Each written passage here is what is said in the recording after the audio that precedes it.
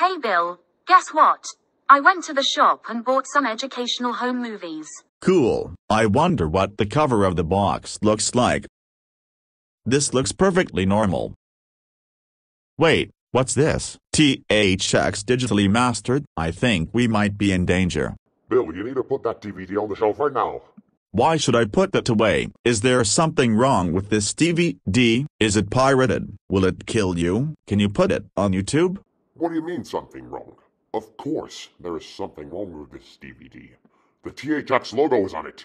The THX logo? I'll tell you what it is. It's the sound of literal death. I don't feel like dying, but you need to calm the fuck down. Fine. If you have a death wish, you might as well take it. Okay fine. Me and Windtail will watch the movie. He never listened. And he didn't eat a single word I said. Alright, viewers, just two letters, alright? THX. Bill and Windtail are going to run into those blocky letters made by the Lucasfilm sound systems. This is so disappointing.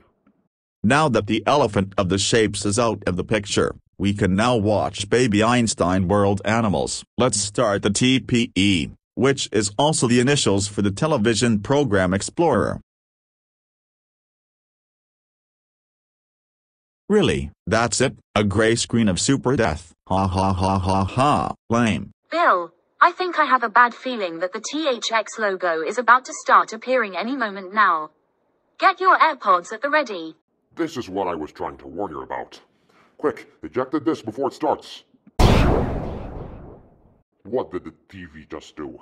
Did the power just run out? Oh no, this most certainly is not a power failure. The lights are back on.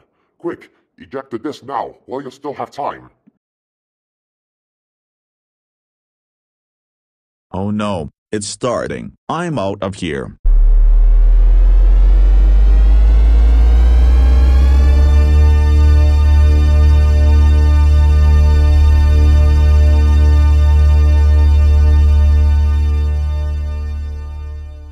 We're sorry that we didn't listen to you.